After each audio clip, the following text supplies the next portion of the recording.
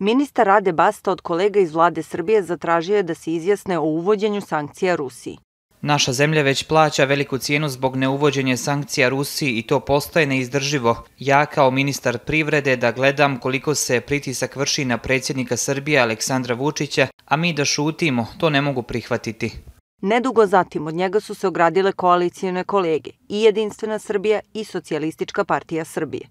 To je verovatno ovaj, no, nova verzija Zorane Mihajlović, dakle to je prosto ono što smo već do sada više puta videli, dakle slanje kontradiktornih poruka, Uh, sasvim sigurno da to nije ministar koji ima neku političku autonomiju ili slično, ali prosto uh, jedna vrsta probnog balona koji daje neke naznake šta možemo da čekamo. Ali mislim da su nam to i Dačić i Vučić rekli prilično otvoreno. To je onog trenutka kada pritisak postane neizdrživ, Srbija će uvesti sankcije Rusiji i sad je samo pitanje kako oni mere taj pritisak i da li ćemo doći do tog nivoa.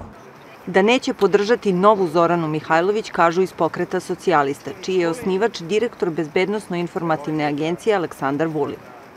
Očekujemo od Baste da će ličnom ostavkom u vladi pokazati koliko mu je zaista stalo do onoga što traži ako od drugih ministara ne dobije podršku za njegovu boru protiv nezavisne i neutralne slobodarske politike naše Srbije.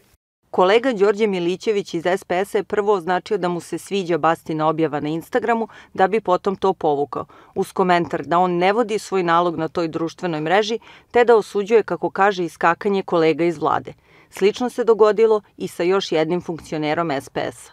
Nedopustivo je da, pored svakodnevnih pritisaka koje predsjednik Vučić i država trpe sa svih strana, takvi pritisci dolaze i od članova vlade.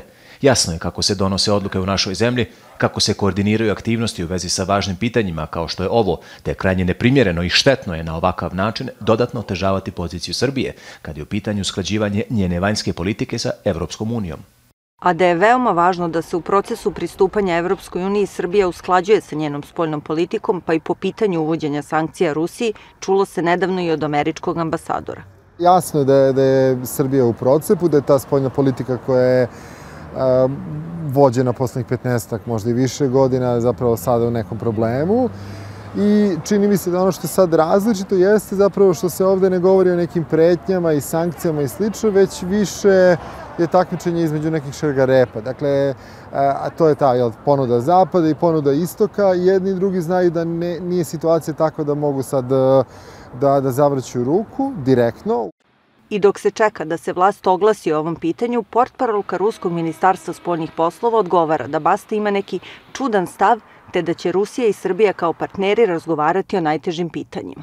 Bojana Stojanović, Al Jazeera, Beograd.